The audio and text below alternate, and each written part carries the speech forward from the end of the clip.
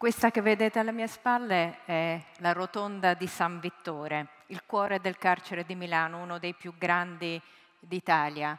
Eh, 2000 detenuti, uomini, donne e anche bambini dagli 0 ai 3 anni. Parto da questa rotonda perché è il simbolo del carcere, l'ho scelta come simbolo, perché ovunque giri lo sguardo hai solo sbarre e muri, muri e sbarre, non c'è nient'altro. Si parla molto di carcere in questi giorni, ma senza sapere spesso veramente cos'è. Il carcere è questo, un luogo che ti taglia fuori completamente, fisicamente ed emotivamente. Il carcere, io dico, è una contraddizione in sé, il carcere è un ossimoro, perché è un luogo dove si pensa di reinserire escludendo le persone, dove si pensa di responsabilizzare privando le persone della possibilità di decidere, questa è la domandina, si chiama così, domandina, come se fossero dei bambini scemi. Eh, la domandina è la regina del carcere, è un modulo prestampato che tutti i detenuti, ma proprio tutti, devono compilare per fare o ottenere qualsiasi cosa, per parlare con il direttore, per andare in permesso, per iscriversi a scuola, per andare a trovare la madre che sta morendo, per frequentare la biblioteca, per fare qualsiasi cosa, si scrive alla signoria vostra e si chiede. Eh, I detenuti chiedono e qualcun altro eh, decide. Ogni giorno migliaia di domandine vengono compilate, mandate al direttore, a volte si perdono nella strada di andata, a volte in quelle di ritorno. Qualcuno arriva con un no, qualcuno arriva con un sì. La vita intera dei detenuti passa per un modulo il detenuto chiede, un altro decide. Eh, torno a San Vittore, prendo in prestito un video fatto da un collega del TG2. Eh, in carcere si vive chiusi, chiusi fuori dal mondo, si vive in una normalità che non ha niente di normale, è una normalità fatta di spazi chiusi, sovraffollati, dove si vive insieme chi fuma e chi non fuma, dove si vive insieme chi fa il Ramadan e chi si cucina gli spaghetti, dove l'unica cosa importante da fare è far scorrere il tempo, il tempo della pena, far passare il tempo il più possibile. Um, io entro in carcere da volontaria, per mia fortuna, da ormai quasi 30 anni e ho imparato a conoscerlo attraverso le piccole cose, non attraverso i grandi numeri, 20.000 di troppo che ahimè ci sono, ma nella sua quotidianità, perché il carcere ti entra nella pelle giorno per giorno, attraverso le piccole cose, inesorabilmente ti trasforma, ti cambia, eh, ti rende disadatto poi a vivere fuori. Ho conosciuto la solitudine vissuta in mezzo alla gente quando Marcello, un ragazzo, avrà avuto meno di 30 anni, mi è venuto incontro felice con una cartolina in mano e mi ha detto con questa ci va davanti un mese ed è proprio così, con quella cartolina riescono a tirare avanti un altro mese. Ho conosciuto la spersonalizzazione profonda del carcere quando ho salutato un ragazzo, gli ho detto ciao Salvatore, lui si è bloccato, mi ha guardato, ho pensato cosa ho detto, poi mi ha guardato e mi ha detto ma tu ti ricordi il mio nome? Come dire, non sono uno dei tanti, uno uguale a tutti gli altri. Ho conosciuto la difficoltà di parlare, di farsi ascoltare quando Pasquale si era tagliato di nuovo le braccia e l'autolesionismo. E allora gli ho detto, ma perché Pasquale? Lui mi ha fatto vedere tutte le cicatrici che aveva e dice, vedi, per ogni taglio ho avuto una risposta. Ho conosciuto la spersonalizzazione anche quando Ubaldo mi ha detto, Daniela, vedi, la nostra identità noi la lasciamo insieme alle impronte digitali quando entriamo in carcere. Ecco, giorno dopo giorno il carcere ti entra nella pelle, eh, ti cambia, ti trasforma, ti costringe ad adattarti a un mondo che non ha niente di normale. Eh, con l'associazione VIC, questo è il logo della mia associazione, eh, siamo 100 volontari, andiamo nelle carceri romane di Rebibbia, sono quattro carceri, 2000 tra uomini e donne, ehm, ascoltiamo le persone, le incontriamo, abbiamo una casa alloggio, una cooperativa di lavoro, eh, cerchiamo eh, di incontrare persone in questo mondo dove si vive in 14, in 32 metri quadri, per 22 ore al giorno. Eh, e incontriamo persone che hanno bisogno di tutto, dalla libertà in primo luogo, ma poi hanno bisogno dei vestiti, di una casa, di un lavoro per chi sta per uscire, di ristabilire rapporti, eh, di avere un permesso di soggiorno per gli stranieri, di ritrovare se stessi, un po' tutti.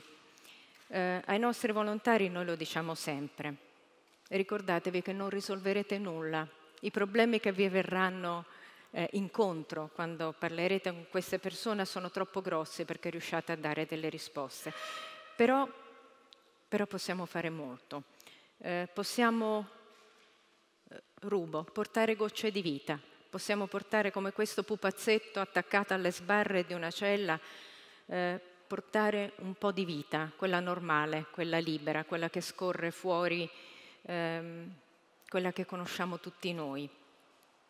Possiamo portare un po' di sapore della vita, eh, possiamo, eh, possiamo soprattutto esserci, possiamo esserci per loro, anzi possiamo esserci per loro e con loro e per ognuno di loro e con ognuno di loro, con il suo nome, con la sua faccia, con la sua storia, con la sua vita, come Salvatore, solo con Salvatore, non con un detenuto. E ehm, in un luogo come il carcere, così deprivato di tutto, eh, è un po' come stare nel deserto, una goccia di acqua è preziosissima, una goccia di vita è preziosissima. E allora quello che sembra inutile a volte in carcere lavora silenzioso, anche lì inesorabile, queste gocce vanno nel profondo.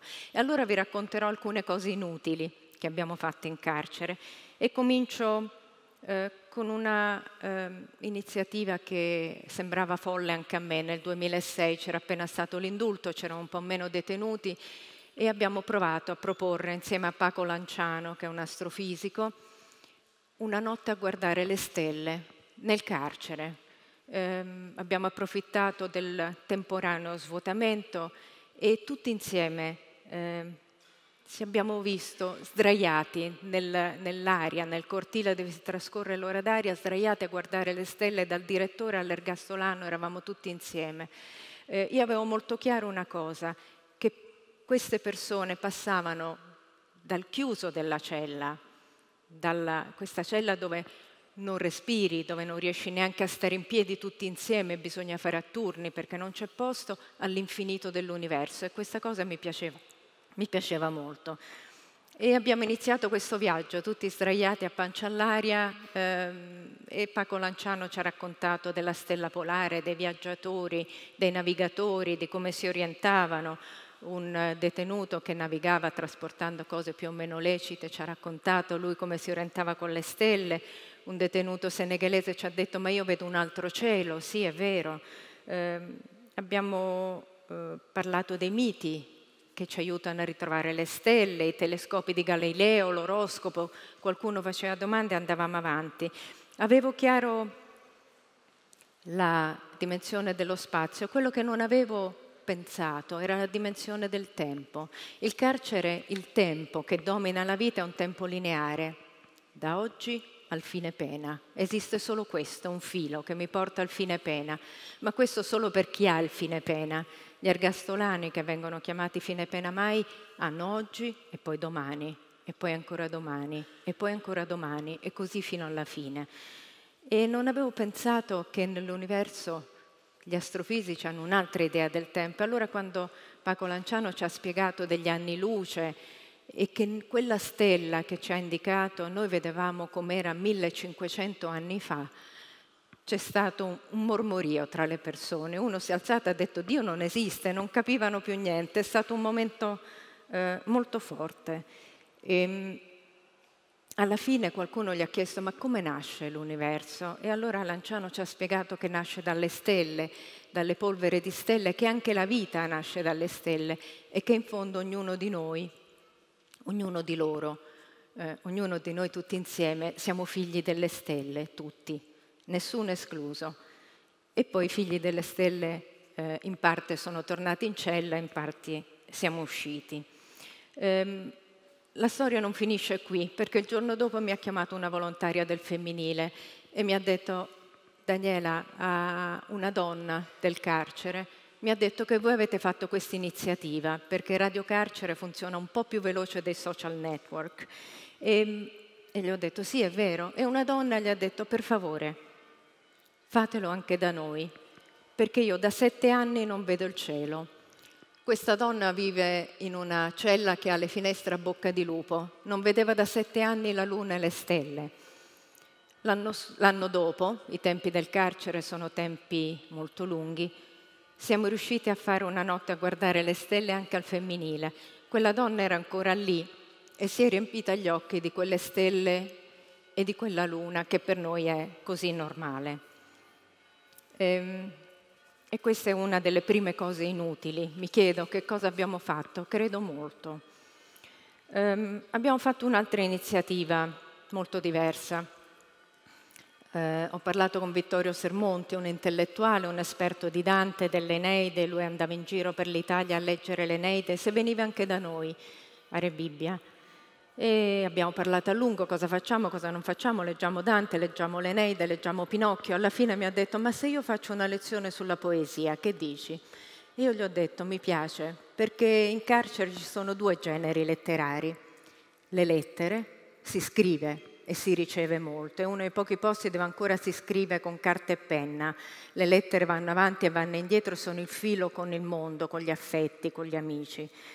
E poi le poesie, sono tutti poeti. Gli unici libri che scompaiono dalle biblioteche del carcere sono i libri di poesia.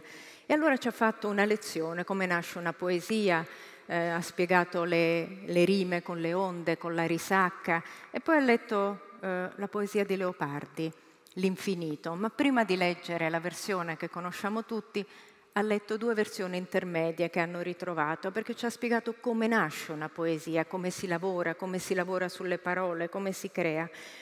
E poi mi ha chiesto, Daniela, dammi una poesia di Pasquale. Pasquale era quel ragazzo di cui vi ho raccontato, che si era tagliato le braccia. Pasquale era un detenuto in quel carcere, in quei giorni non era lì perché l'avevano trasferito in un OPG. OPG vuol dire ospedale psichiatrico giudiziario gli ex manicomi criminali. Mi ha detto dammi quella poesia perché Pasquale spiega bene con i suoi versi come nasce una poesia e ha letto la poesia di Pasquale. Pasquale parla con il foglio di carta e gli dice foglio tu non sai cosa diventerai quando io scriverò su di te, non sai come ti trasformerai. E l'ha letta con la stessa dignità con cui aveva letto le poesie di Leopardi e con cui dopo ha letto eh, Dante Alighieri. Eh, è stato un momento importante. Lì tutti sapevano chi era Pasquale, come tutti sapevano chi era Leopardi. Un seme di libertà è stato, scusate. E poi abbiamo fatto, questi sono gli incontri, e nelle fotografie vediamo Vittorio Sermonti, io non so se stia leggendo Leopardi, se stia leggendo Dante, o se stia leggendo Pasquale, perché tutti e tre avevano pari dignità, tutti e tre i figli delle stelle avevano pari dignità.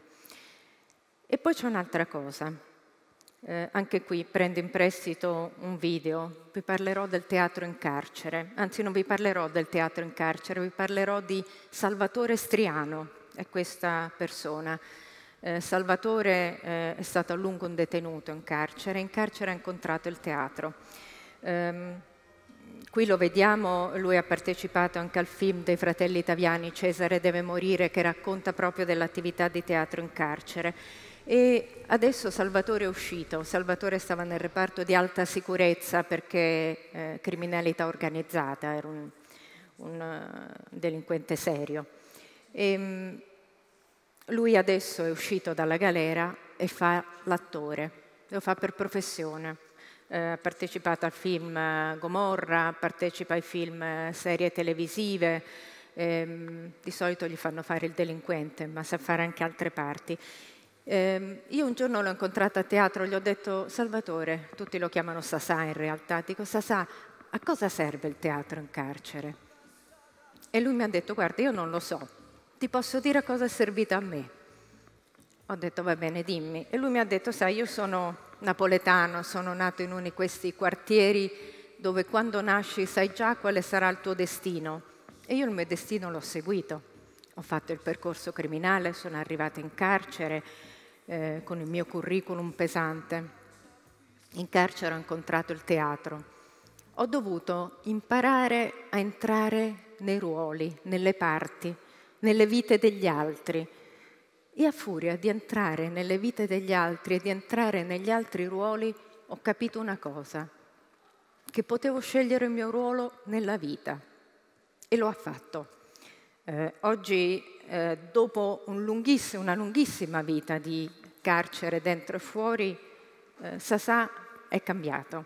Um, per lui il teatro in carcere eh, e io sono convinta che solo per lui, io credo forse nessun altro farà un percorso uguale al suo delle migliaia di detenuti che lavorano in carcere. Per lui il teatro è stata quella goccia che ha incontrato il seme che era pronto a germogliare. È nato un altro Sasà, è nato Sasà l'attore. Oggi eh, Sasà continua ad andare in carcere, ma ci va per incontrare gli altri detenuti per raccontare, per testimoniare che si può cambiare, che lui ce l'ha fatta e che lui era esattamente come loro. Eh, sono alcuni semi, eh, in carcere si fanno molte cose, ognuna di queste è una goccia di vita, ognuna di queste gocce può incontrare il seme di libertà e può servire a far crescere la pianta di questo seme. Grazie.